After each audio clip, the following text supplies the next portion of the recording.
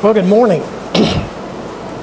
uh, I guess you just saw me uh, uh, cutting out the stock for our project today, which is four uh, computer stands. I know we uh, last week we started on the boat, but and I've been working on it all week. But I'm just going to select out uh, woodworking projects from my boat rebuild. I'm not going to uh, do boat rebuilding uh, uh, videos. I'm just going to select out uh, interesting woodworking projects associated with that build. But today, what we're going to do is we're going to build some computer stands. I got a friend that uh, it, where he works, they have computer monitors. They don't sit in chairs. You know, they walk over to the uh, computer monitors, and the computer monitors aren't up high enough, so they have to look down. Uh, so he uh, he asked me if, if I could build some uh, stands to put the computer monitors up on, and also a little stand for his printer. Uh, but we're not going to get any of that done unless we do what? That's right. We need to knock off the chit chat and get to work.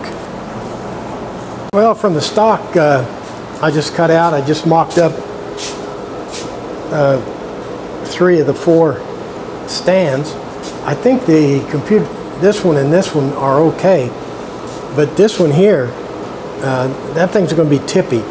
I need to make those uh, legs. You know, these are based on dimensions that he gave me, but this thing's going to be tippy. If you put a monitor on it, it's going to tip over. I need to, uh, I may need to make, make the base wider and also maybe slant these legs out a little bit. So I got a little trial piece here. I put uh, an angle there. so the piece will, the leg will flare out and then the top will be up there on, up there like that. So it'll have that flared angle to it. Let's go ahead and cut these and see what they look like. I'm going to flare them at the bottom too. Uh, so I'm cutting my legs out uh, of stock that's uh, uh 12 inches wide and then I'll shape them like a pyramid uh, and angle them up to 8 inches.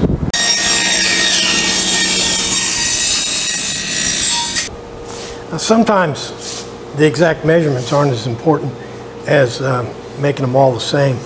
And you can probably see these various lines on my bench here, on my table sled from past projects. So I'm going to bring this thing out to about where I want it. And what I'll do is I'll now measure this. I mean, not measure it. It's about a foot. And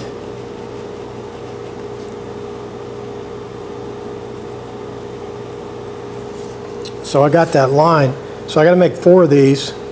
So I know that if I slide it out to that line on all four of them, I'll, uh, I'll have some consistency.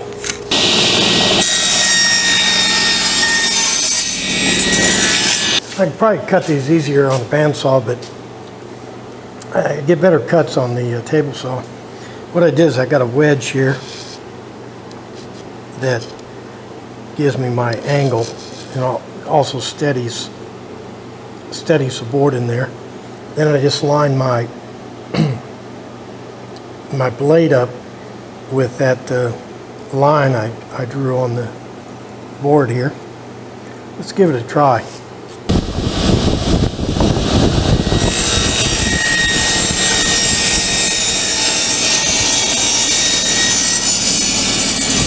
This is the shape we're going for, this pyramid looking shape.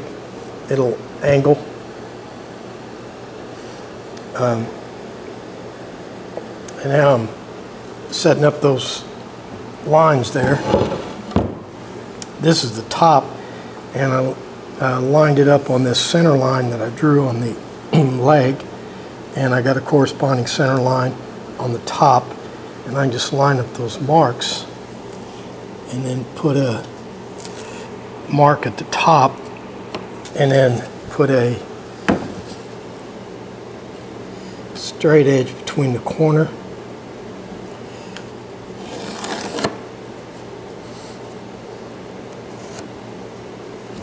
And that line. Okay, this is kind of what it looks like. Uh, it flares to 12 inches down here at the uh, to front to back, and it flares to 10 inches on the uh, on the front. Here's a little panel that's going to go in there. Now that panel will be recessed and it'll be trim around it. Well, since we're doing two of them, I uh, I took a break and uh, went ahead and uh, cut one of them out. What we're going to be doing now is, is putting in that rabbet to receive this little side plate. Now to make sure I put these rabbets in the right place, I've, I've actually got, got it, I actually got my mock up here with the legs going the right way. And I got the rabbets just uh, marked in here with uh, magic marker so I won't get confused. And for these rabbets, you can, you can put the wood through this way or you can put it through this way. This way is the easiest and the safest. But for that setup, you got to remember that the height of your blade is going to give you the width of the rabbet. And then your fence, your sacrificial fence, will determine the uh, width of the, uh, or the depth of the dado.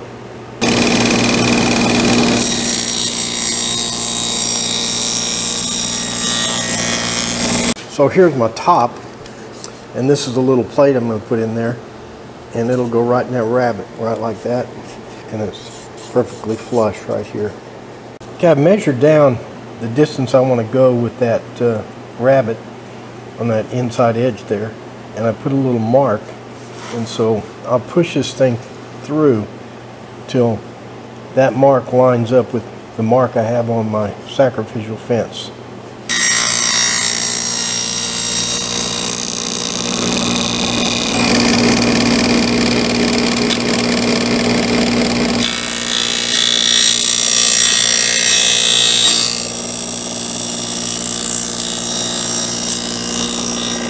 Okay, we're going to hold the hold the legs uh, to the top using these uh, pocket screws. Let's go uh, make those pocket holes right now. Okay, I just got to remember to put the pocket holes on the side that doesn't have the centering line. Okay, next thing I'm going to put these little radiuses in here on both sides. And remember, if these if these aren't right, your eye will pick it up.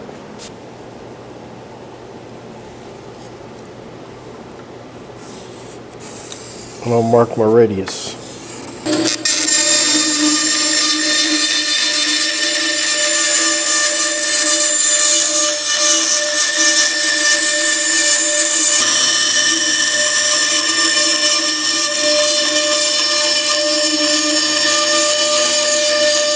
Now you can see here that my stock has these saw marks and you'd think well who cares you're gonna you're gonna route it um, but the problem is that the roller bearing uh, bounces along on that when you're trying to route it.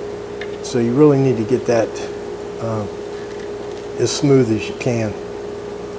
The router bit will kind of amplify any errors you have in your sawing. So this isn't going to be a work of art or anything, but I just do need to get it kind of smooth.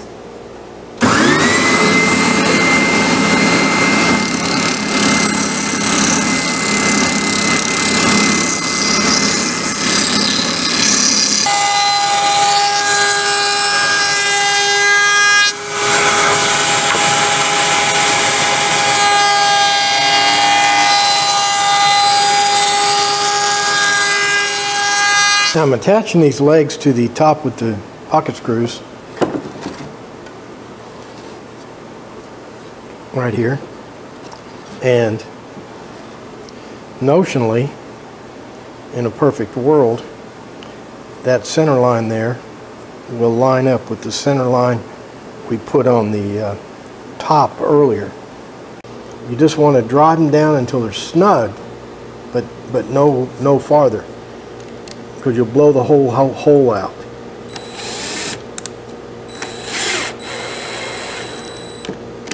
Okay, right there, that's perfect. Okay, next step is to uh, put our little gussets in. You know, normally in a bench, you got, uh, a lot of times you, you've seen in benches where the, where there's a, an additional board across here, uh, that stiffens the thing considerably. Okay, this is going to go right in here and it's a real tight fit.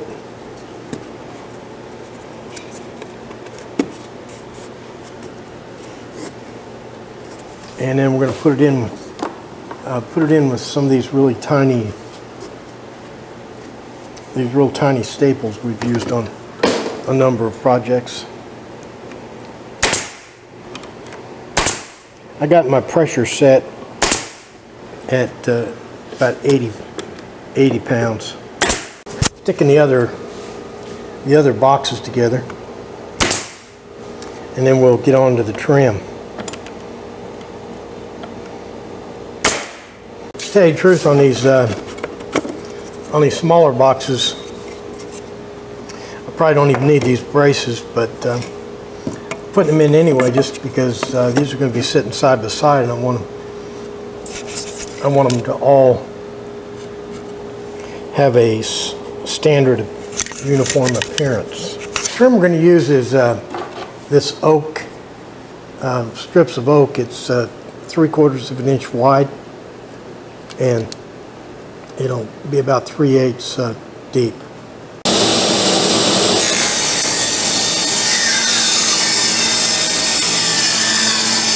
Putting the trim on, uh, no big deal. I'm putting it on square and I'll uh, round it over a little with the sander. Now I'm putting the uh, putty on the brad holes and any other flaws I can find.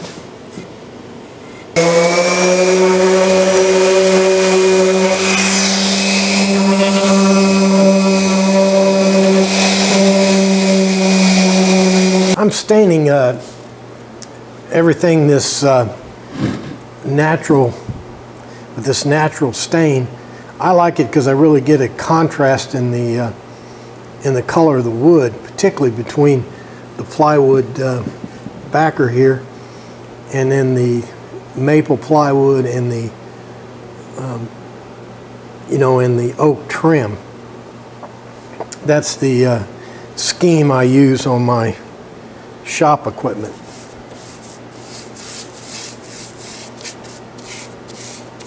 I'm about about ready to wrap it up here. I really like this stain. It's light, but it really brings out the color of the oak.